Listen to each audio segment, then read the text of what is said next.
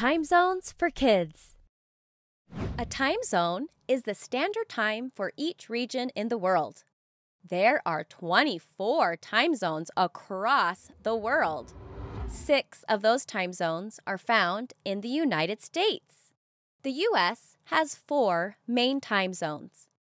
Plus, Alaska and Hawaii have their own. The four main time zones are Pacific, Mountain, Central, and Eastern. Can you guess where each time zone gets its name? Eastern is on the east side of the United States, and Western is on the west side. Central means middle, and the Mountain Time Zone got its name because of the Rocky Mountains located in that region. Each of these time zones can also be abbreviated using their initials. MST stands for Mountain Standard Time. That is the standard time for the Mountain Time Zone. CST stands for Central Standard Time. PST stands for Pacific Standard Time. And EST stands for, you guessed it, Eastern Standard Time.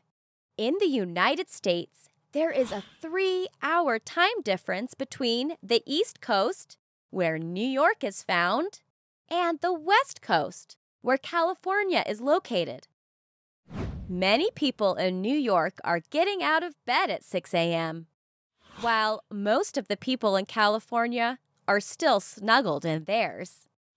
When you're watching TV, have you ever noticed a list of shows advertised along with the time they will be shown?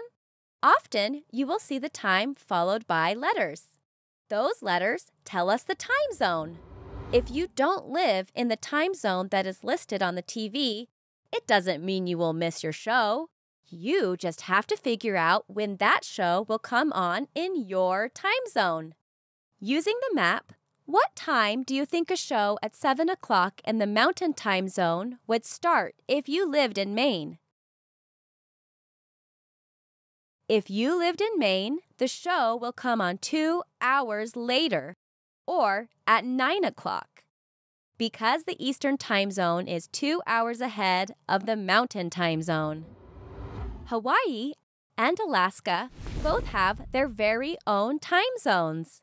Looking at the map, if your favorite show comes on at 7 o'clock in Colorado, can you figure out what time it would come on in Hawaii?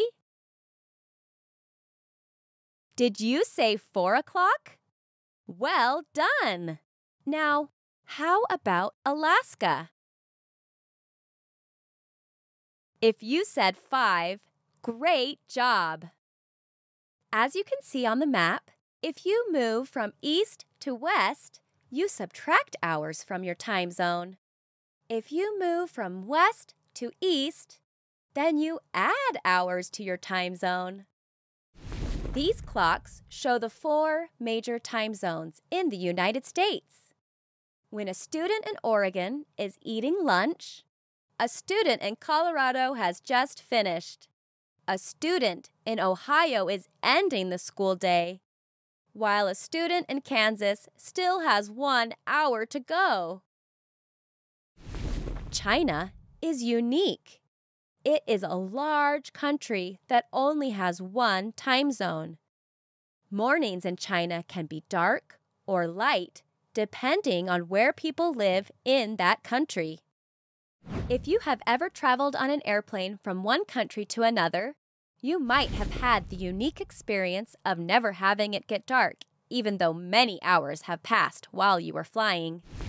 That happens when the airplane moves the same way that the Earth is spinning, or it follows the same path as the sun.